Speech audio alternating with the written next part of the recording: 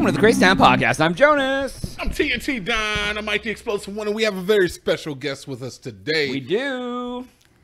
I'm fresh out of the fresh out of the uh, shower here. Been staying at the Crazy Town Whoa. compound for a whole day. Fresh out of And- the shower. Yeah. Hold on. Well- put a, put some clothes on, Mr. X. You guys said it was time to start, so here I am. Okay, fair. Mr. X in in uh, full full. Uh, I was going to make a really improper joke, so I'm not going to do that. What were you gonna make? Oh, like be- running down the because hallway this like isn't the Diddy. right place for it. No, running down the hallway like Diddy. ah, that's foul. That's too soon. I Yeah, think. too soon. That's funny, but Too it's, soon? it's Is too it too soon? It is don't not. I mean, I mean, he deserves everything he gets. Amen. Let me say that. So, all right, what do you guys got for me? I hear that you have something for me today because I don't know anything. All right. So next, WNBA phenomenon. My favorite sport. Your favorite sport. Honestly, Jonas, you, you say that, but the WNBA has honestly been more prevalent in sports news as of late because of the acquisition of the uh, the freshman team, the freshman squad. And that freshman squad comes with the highest scoring collegiate female foot basketball player. Foot by foot base. yeah, it's a lot of adjectives. Foot basket. but and and that is Caitlin Clark. Okay. Caitlin Clark. Caitlin Clark. Out of Iowa, is that where she played? She, uh, Yes. Yep, I don't yep. know, but she made a lot of money on some uh, like Nike deals. Sneaker made deal. a yep. lot on her Nike deal. Yes, she made a lot on it, and and rightfully so. Right, rightfully so. She is the highest scoring collegiate female basketball player in history. Much that to- is a milestone. much to the chagrin of every other female basketball player. Apparently, them. All of they them. all apparently all don't hate it. appreciate it. Yeah. okay, so I saw one thing. what would you see? She got pushed down in the game. so yeah, that's They're the thing. her. That's the thing is that people have been saying is that she's been getting a lot of unnecessary fouls. One of them, the last foul, the one that you're talking about, got upgraded to a flagrant two, which is an immediate ejection. They say that she's been getting a lot of hard fouls. I will have to say, like per capita, you know, throughout the game, it's not like she's getting fouled every time she goes up to up to court. You're gonna get some fouls. You're in the NBA. Um, WNBA. Pat Mafkey says Say that one. Pat Mafkey. Is that right? McAfee. Pat McAfee. McAfee. McAfee. like the virus program. That's right. Pat McAfee says uh he says that there's one white bitch Wow. that is uh that is a problem in the WNBA. Why? Why is there one a problem? Because she is a problem. She's a problem to Okay, so you think about it, when you get a rookie on the team, what like and especially if the rookie's considered to be the star of the team as soon as they get on the team, Okay. there's going to be some resentment. Yep. Yeah. Yep. yep. So Yeah. Oh, like there's some like so there, there's there's. some obviously resentment. Some saltiness going on in, Gotcha. in the WNBA. Well, I mean, like, but you know you're not good, right? And you know she is. Like if I was on, a, that mean? like if I was on a team and like I was like a veteran and I was like 30 and like this young 19 year old superstar came on and he was the best player on the team by far.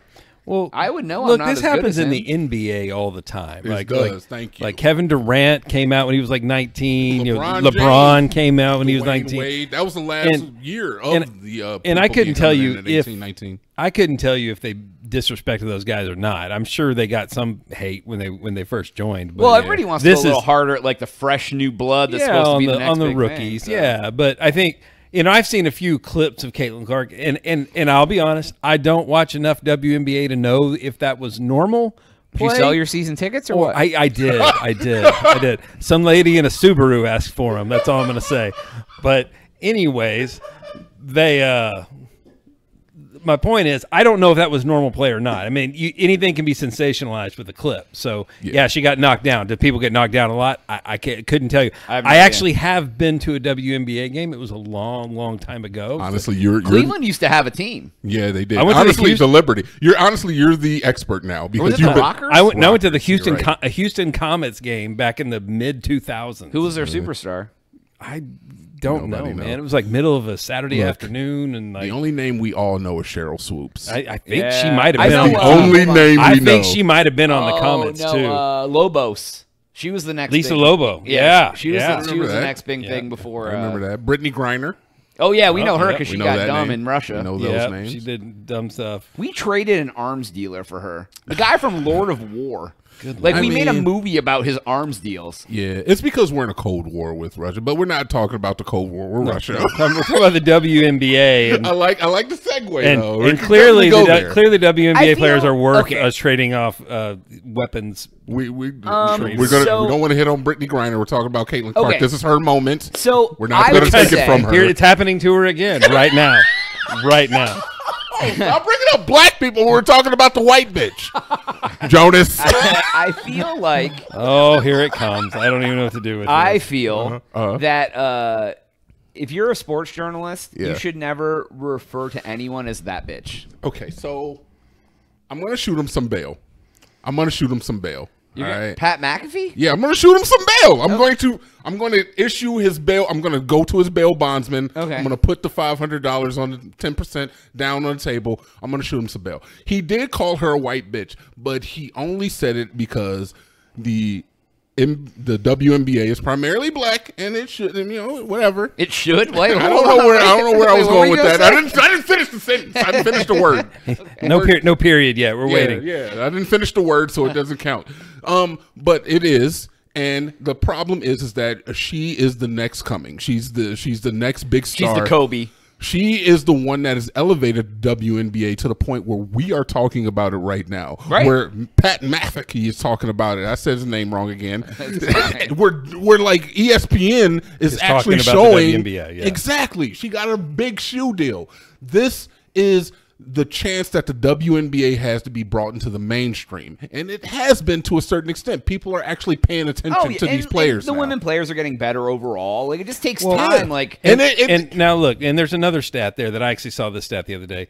They were talking about average attendance of of WAB, WNBA Mm-hmm. games like uh, last couple of weeks or whatever, and every one that had Caitlin Clark playing in it mm-hmm. had double the attendance of, all, of the other games. ones. That makes sense. And it was just like, yeah, so She has star power. She is a star power for a league that Good. has not had that much doesn't star have a star. power. Yeah. So it's like I could understand you having some resentment when you've been working your job Yep. for f- 10, 15 years, and then some young 20 year old, 19 year old comes on the court, and then they think that, oh my God, everybody's coming to see that person.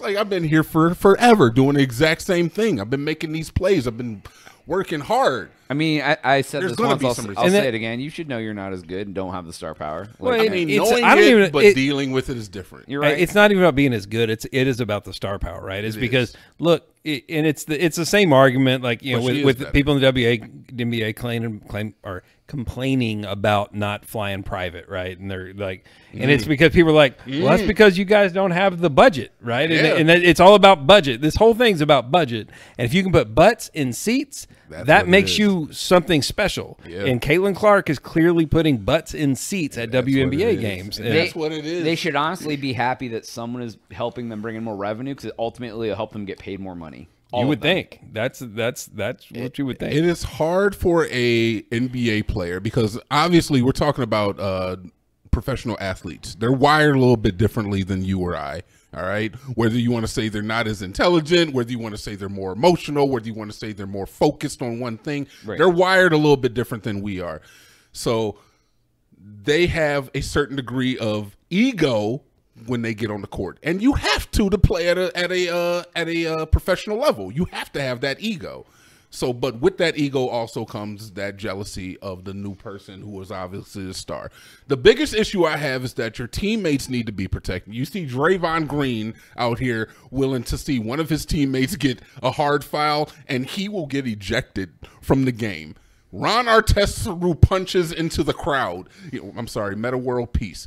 So we have we have instances where a teammate will fight for other teammates.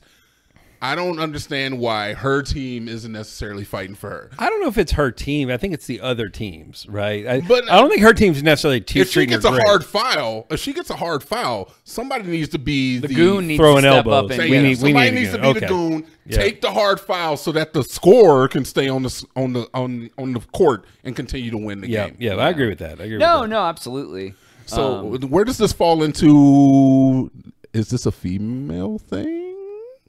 No, because I think it I don't wanna be the misogynist. Because I think it happens in the NBA too. It does, but I think it gets more. Pro- See, here, here's the problem though. It- in the NBA, in any given year, you can have a influx of many new stars. Yeah. And so, like, it may happen, but like, it, there's a This lot is of hard kind. This is kind of the NBA's first new star. yeah, The like WNBA. WNBA. yeah, it's, still, it's like um, it'd be like it's like okay, it's like Jackie Robinson, the first black baseball player ever. Damn it! I was gonna say Caitlin Clark was like that Jackie Robinson joke, man. It was coming. It wasn't was a it's not a to joke, but, it is like- a joke. but he took a lot of unnecessary flack because he was the new star, That's new. cra- no, he was black. and- That's I why he mean, took. and, yeah, I mean the first black player. That's why Caitlin. Are you trying to say, oh, because she's the, oh, the first white? Uh, oh, is it a race thing? They don't like her because she's white. If she was a black it girl, it'd definitely fine? comes into play. I, all right? Yeah, I agree. It probably does come. It's kind of like the Because- Eminem factor. Everybody keeps Well- saying Eminem the goat, and then he comes out with Houdini, and you're like, "What the fuck is this shit? How is this? This is your king? This is the this is the captain of the mothership. This is the greatest rapper of all time. Have you heard That song was bad. That song's not good. He tried to remake a song he made in a minute, and it was yeah. not a minute time No, song. so that's your goat. Mm. Uh, that ain't my goat. But no, but Caitlin Clark is the goat.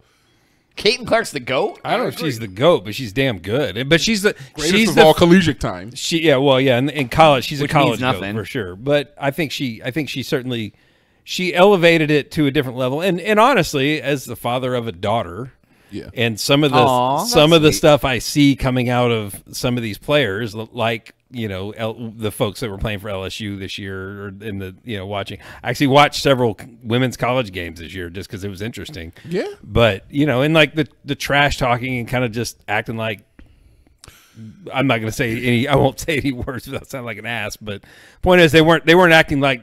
They weren't acting like like good. I would say role models. Caitlin Clark, on the other hand, seemed to be pretty role model. Like she's kind of just taking taking her shots, doing her thing, kicking people's ass. By the way, Hundred percent speculation. What do you think that the female persona does it have any weight on the treatment that she's getting? The female persona. what Oh, like just the the stereotype that The stereotype that is women that tend to be more catty or like whatever about Jealous like. well, towards that, other women. That's why it's getting media coverage, and that's that's the that that's the subtext. That is one because they mm. love the cattiness. They Like love the drama of it. Hundred percent. That's why ESPN's covering this because like, ooh, people will watch this, and they love to People see love this. drama, man. Like, Like- people don't care about NBA drama. Like it's like, No, oh, okay, it's like two two guys it's two dudes like mouthing at each other, and no one cares. It happens all the time. very true. But this is like, oh, we can watch these girls be catty with each other. so it's That is spin. yeah, that, that that's why we're even hearing about it. That's why I say I don't watch the NBA enough, uh, WNBA enough to know if this is normal or not. You know, that's like this may be just normal play for them, except now we're just getting fed it for the first time oh. ever. Maybe they play dirty all the time. Yeah, maybe they play dirty all the time. Maybe they're bitchy all the time. But I this is don't the know. first time that we're paying attention. This is the first time we've ever been told you got about a it. C tier player and they're getting abused, nobody says anything. Yeah, well, get you've got you've got S-tier girl America's sweetheart, Caitlin Clark, and they're like, "Oh, this will be that her this nickname? is great." No, but that's what I call it. America's sweetheart You know, is she- crazy. That's kind of what she has become, right? She's like this. she has become She's America's this nice Taylor white Swift. girl that, that plays basketball and was really, really good in college. really good. And so the it's like, best to ever I do grew it. up on Some a would farm say. and I used to feed the yeah, in pigs before fucking basketball Iowa, by the way. She Yeah. played for Iowa. You know, Oh, I mean, it, that's Hey, look, I'm gonna look. This is TNT Dynamite. Caitlin Clark, you gotta take your lumps. I'm sorry, you gotta do it. Everybody's got to go through it. You got to go through yours. It's Prove like I mean, everybody gets hazed. Well, she's not complaining about it. No, she's not. she She's not? not. It, I, I haven't heard it. All I've seen is She that- didn't even complain about the white bitch comment. Yeah, she, didn't say a actually, what I heard is she like, I heard something like she challenged Pat McAfee to a basketball game, and then they played. I saw something about that. She she's that suing him Oh, maybe she did because they played a game and he she beat the shit out of him. She and now would. they don't want to play. They don't want to put it on the show. And she's like, "No, the contract said you'd put it on the show." She beat him like it was like make it take it. She beat him twenty one to five, really? or something like that. Yeah, I saw that somewhere, but I you know Okay. don't I I don't want couldn't to tell you find where. that out. So, All right. anywho, that's all time we have for today's episode. Please make sure to go to thecruisedown.com and subscribe for uh, Jonas. TNT and Mr. X. Uh, we out. Uh,